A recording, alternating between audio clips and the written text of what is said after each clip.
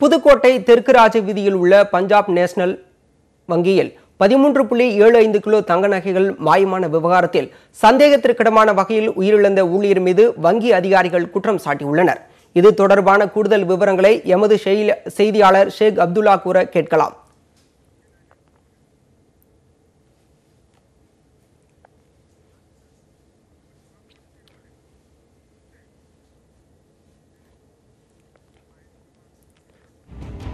வணக்கம் அப்துல்லா.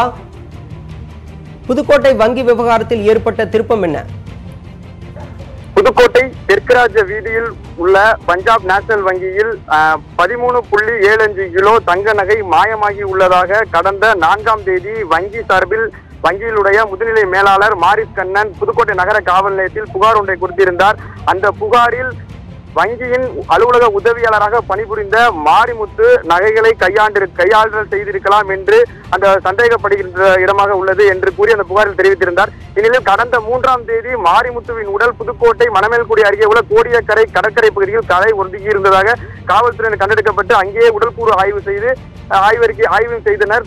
தற்போது தீவிரமாக போலீசார் விசாரணை மேற்கொண்டு வந்தனர். அப்பொழுது அந்த விசாரணையில் பல்வேறு கட்ட தகவல்கள் வெளியாகி உள்ளது. அதாவது மாரிமுத்து கடந்த இரண்டாயிரத்தி பதிமூணாம் ஆண்டு முதலேயே வங்கியில் உள்ள நகைகளை கை- நகைகளை எடுத்து எடுத்து வந்ததாகவும் அந்த நகைக்கு பதிலாக கவரி நகைகளை வாங்கி அந்த நகை எடைக்கு தகுந்த மாதிரியே கவரி நகைகளை வாங்கி தங்க நகை போல் வைத்து நகைகளை அருகே அருகே உள்ள தனியார் நிதி நிறுவனங்களில் அடகு வைத்து அதுக்கு பணம் பெற்று வந்ததாகவும் மேலும் அவ்வப்போது ஒவ்வொரு ஒரு சில பாக்கெட்டுகளை கை அதை எடுத்த மாரிமுத்து மேலும் அதை அடகு வைத்து நகைகளை திருப்பியும் அதை விற்று வந்ததாகவும் காவல்துறை விசாரணையில் முதற்கட்டமாக தெரிய வந்துள்ளது. மேலும் இந்த நகைகளை இரண்டாயிரத்தி பதிமூணுல வங்கி நிர்வாகம் நகைகளை உண்மையா அல்லது போலியா என்று சோதனை செய்யாமல் நகை பாக்கெட்டை மட்டுமே கணக்கு செய்து வந்தனர். அதனால் வங்கி அதிகாரிகளுக்கு மாரிமுத்து நகைகளை எடுத்த விஷயம் தெரியவில்லை என்று போலீசார் தகவலில் கூற வந்து தெரிய வந்துள்ளது. இந்நிலையில் மாரிமுத்துவின் உடற்கூறு ஆய்வு வந்து மூன்றாம் தேதியே அதே இடத்தில் உடல் கண்டெடுக்கப்பட்ட இடத்திலேயே ஆய்வறிக்கையானது உடற்கூறு ஆய்வு செய்யப்பட்டது. அந்த முதல் உடற்கூறு ஆய்வில் பனவேல்குடி போலீசார் வந்து பனவேல்குடி மருத்துவர்கள் உடல்கூறு ஆய்வில் ஈடுபட்டனர். தற்போது உடல்கூறு ஆய்வில் முதற்கட்ட தகவலாக மாரிமுத்து கொலை செய்யப்பட்டிருக்கலாம். உடம்பில் காயங்களை வைத்து அவர் கொலை செய்யப்பட்டிருக்கலாம் என்று தகவல் வெளியாகி உள்ளது. மேலும் அவரது உடல் உறுப்புகள் ஆய்வுக்காக எடுத்து செல்லப்பட்டுள்ளது. மேலும் இந்த கெமிக்கல் ஆய்வு வந்ததற்கு பிறகே முழுமையாக இவர் கொலையா அல்லது வேறும் காரணமா என்று முடிவு செய்யப்படும் என்று மருத்துவர் தரப்பை தெரிவிக்கின்றனர். இந்நிலையில் போலீசார் தற்போது இந்த வழக்கில் வழக்கு விசாரணையை தீவிரப்படுத்தியுள்ளனர் பாலா.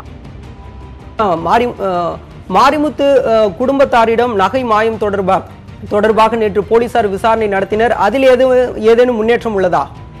அதாவது கடந்த ரெண்டாயிரத்தி பதிமூணாம் ஆண்டு முதலேயே மாரிமுத்து வங்கியில் உள்ள வடிக்கையாளர் அடகு வைத்த நகைகளை எடுத்திருக்கிறார் என்று போலீசார் விசாரணை தெரிய வந்தது.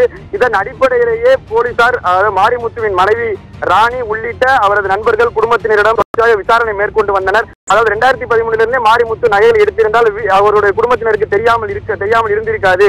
அதனால் மாரிமுத்து குடும்பத்தினர் குடும்பத்தினருக்கும் இது இருக்கலாம் என்ற கோணத்தில் தான் போலீசார் அவர்களிடம் விசாரணை மேற்கொண்டனர். ஆனால் மாரிமுத்து குடும்பத்தினர் அதாவது குற்றம் சாட்டுகையில் அதாவது வங்கியுடைய உயர் அதிகாரிகளின் ஆஹ், அதாவது உதவி ஒத்துழைப்பு இல்லாமல் இவர் ஒரு நகையை எடுத்திருக்க முடியாது. மாரிமுத்துவின் இறப்பில் வங்கி அதிகாரிகளும் தொடர்பு இருக்கும் என்று அவர்கள் ப- பரபரப்பாக குற்றம் சாட்டியுள்ளனர். இந்த குற்றச்சாட்டின் அடிப்படையும் போலீசார் விசாரணை மேற்கொண்டு வருகின்றனர் பாலா. புதுக்கோட்டை தெற்கு ராஜ வீதியில் உள்ள பஞ்சாப் நேஷனல் வங்கியில் பதிமூன்று புள்ளி ஏழு ஐந்து கிலோ தங்க நகைகள் மாயமான விவகாரத்தில் சந்தேகத்திற்கிடமான வகையில் உயிரிழந்த ஊழியர் மீது வங்கி அதிகாரிகள் குற்றம் சாட்டியுள்ளனர். இது தொடர்பான கூடுதல் விவரங்களை எமது செய்தியாளர் ஷேக் அப்துல்லாவிடம் தந்தார். நன்றி அப்துல்லா.